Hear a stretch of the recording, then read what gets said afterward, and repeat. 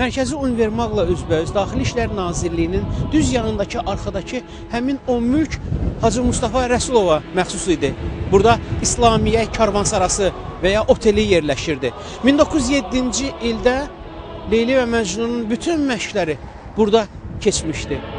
2 və ya 3 otaq kirayələyərək bütün orkestri və müğənniləri, aktyorların hamısını burada toplayardılar və saatlarla, bəzən günlərlə məşq edərdilər.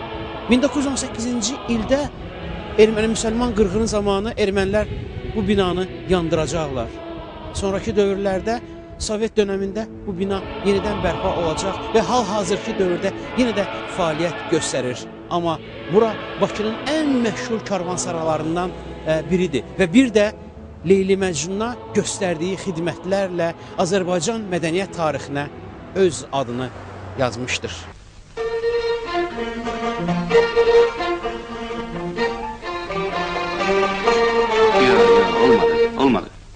Bir de. Beşine bilir senin meramın, beşine bilir senin meramın. Al ehli sen iste, ehli hali eksin el aşk, al ehli sen iste, kapasan şefa.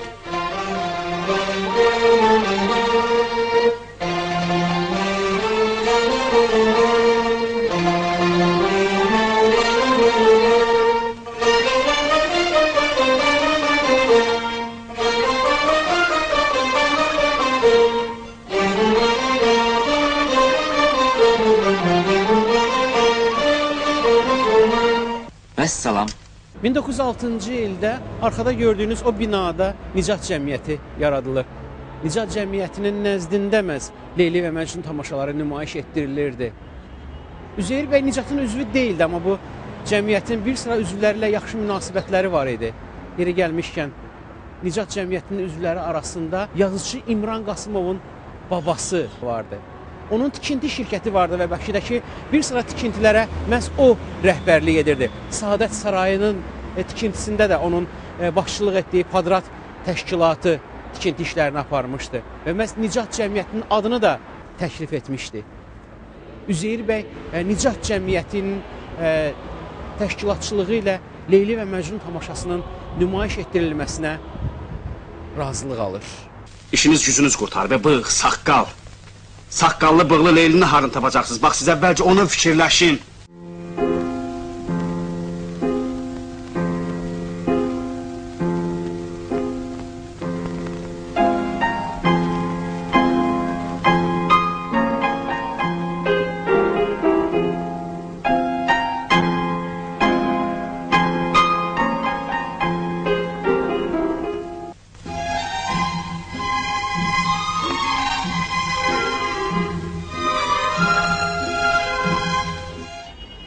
Artıq Qori seminariyasında təhsil alarkən Üzeyir bəyin düşüncələrində Leyli və Məcnun operası vardı.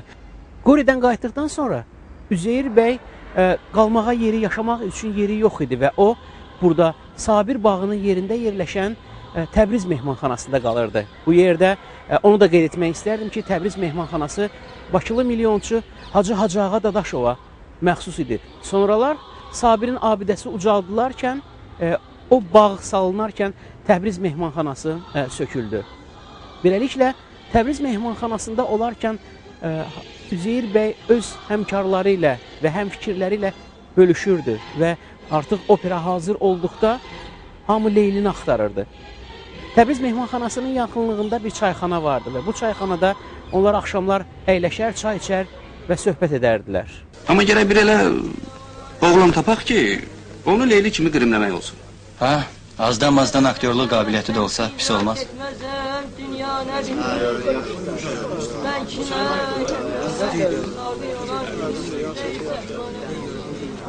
Ay ay ay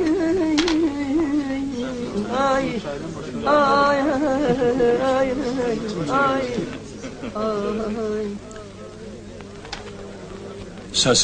ha. Hı? Dostlar, bilirsiniz ağlıma nə gəldi? Mənim də ağlıma gəldi bu.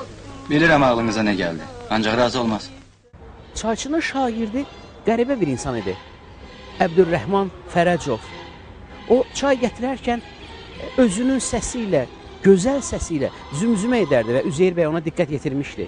Bir gün Üzeyir bəy onu razı salır. Leyli və Məcnun tamaşasının ilk premyerasında Leyli rolunu Əbdürrəhmana tapşırırlar və bu rolun öhdəsindən o bacarıqla gəlir. Amma ikinci dəfə səhnəyə çıxmaqdan qəti imtina edir. Hər şey bir vaxt dəyişəcək. Hər şey. Biz öləcəyik, ancaq bizi xatırlayacaqlar. Bəs onları kim yada salacaq? Qorxulu bir şey yoxdur. İndiki kömək eləmək istəyirsən bizə, sözümün üstündə dur axıracan. Bax belə. Belə. Qadın rolu oynamaq böyük kişilikdir. Böyük kişilik. Buna görə Leyli və Məcnun tamaşası bir müddət fasilə verməli olur. Amma çıxış yolu yenə də tapılır. Üzeyir bəy Leyli roluna öz xalası oğlunu dəvət edir. O bu rolun öhdəsindən o dərəcədə bacarıqla gəlir ki, növbəti Leyliləri uzun müddət məhz həmin xalaoğlu ifa edir. Əhməd bəy Ağdamski Bədəlbəylilərdən idi. Leyli obrazı və bundan sonra qadın obrazlarını hədsiz dərəcədə bacarıqla yaratdığına görə o tez-tez yaşadığı evi dəyişmək məcburiyyətində qalırdı. Çünki eyni yerdə qalmaq həyat üçün çox təhlükəli idi. Onu öldürə bilərdilər. Mənim adım minnətdir, yerim burada cənnətdir. Təzayı gördükdə mənə baxmaq zinətdir. Təzayı gördükdə mənə baxmaq zinətdir. Gəl məni gör dərdimdən öl, mənim adım minnətdir. Gəl məni gör dərdimdən öl, yerim burada cənnət. Təsəvvür edin ki, bir dəfə Tiflisdə ə, Leyli və Məcnun tamaşası bitdikdən sonra ə, tanınmış şəxsiyyətlər səhnənin arxasına gələrək aktyorlarla ə, görüşürlər. Hamının əlini sıxırlar. Leyliyə yaxınlaşdıqda isə onun əlini öpmək istəyirlər. Təsəvvür edirsiniz, bu dərəcədə bacarıqla ifa olunmuş həmin o geyimin altında olan insanın kişi olması heç kəsin ağlına belə gəlmirdi. Hətta deyilənlərə görə Leyli və Məcnun tamaşasından sonra Leyliyə aşiq olanlar olurdu və bunun üstündə tez-tez dava da düşərmiş. Belə fikri vardır kim, boşasın özgə alsın. Belə fikri Yox. var Bu qız deyəsən məni lap dəli eləyəcək. Necə də gözəldir, necə də zərifdir. Nə qədər qadın incəliyi var onda. Belə fikrim müşküldür. Gəl məni gör dərdimdən öl mənim adım minnətdir. Gəl məni gör dərdimdən öl yerim burada cənnətdir.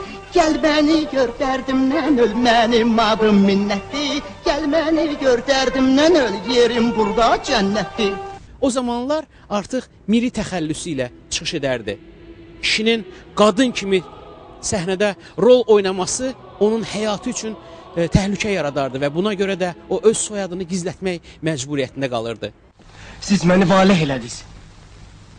Ən böyük arzum sizi bir də görməkdir. Yaxşı, ancaq qoyun paltarımı dəyişim.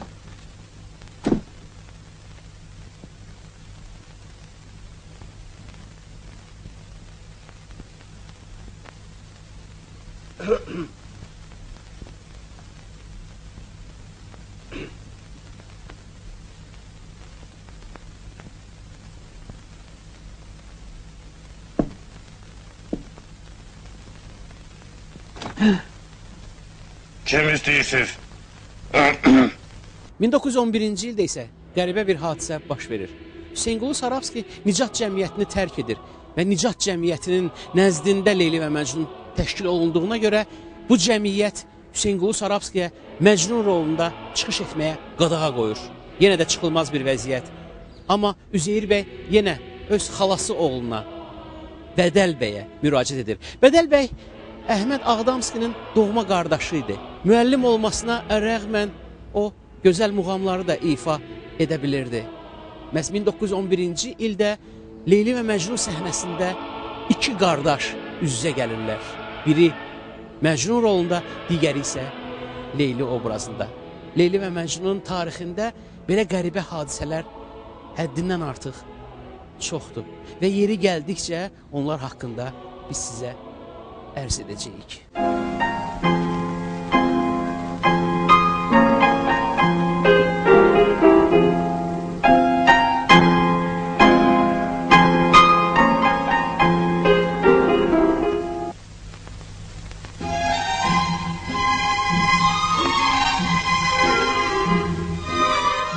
Hal-hazırda Üzeyir bəyin e, evindəyik yenə də və e, Leyli və Məcnun operası ilə bağlı müəyyən detalları onun evindən e, söyləməyə qərar verdik.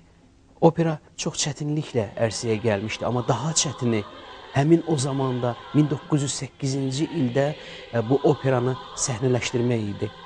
Təsəvvür edin ki, e, min bir əziyyətlə söylədiyi, ətrafına topladığı, e, razı saldığı, müəyyən vasitələrlə razı saldığı insanlar bəziləri son məqamda e, nədənsə çəkindilər və e, səhnəyə çıxmaqdan imtina etdilər. Amma Üzeyir bəyin dahiliyi ondaydı ki, o bu çətinliklərin hamısını bəlkə qabaqcadan duymuşdu. Bəlkə tam e, simvolik olaraq kiçik bir zaman ərzində e, çözməyi də bacarmışdı. Başqa cür ola bilməzdi. Çünki bu Azərbaycanın dahisi Üzeyir bəy idi. Üzeyir bəy, batdıq.